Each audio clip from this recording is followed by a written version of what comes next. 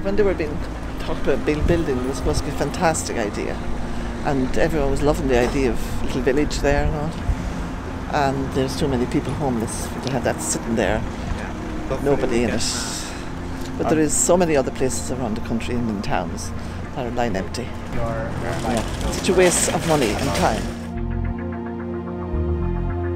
Them houses are all going to go damp. And who's going to want them? Nobody.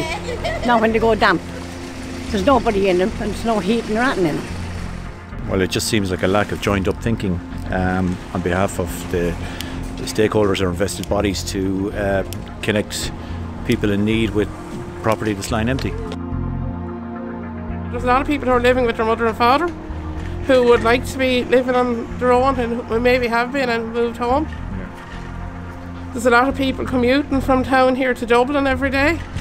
Is that because they can't afford to stay over in Dublin? There's people going to college who can't have anywhere to live when they're in college up there and they're trying to come home and they're trying to study on the trains, coming into Carlow maybe and still have to be collected in Carlow still have a 25 minute maybe journey home.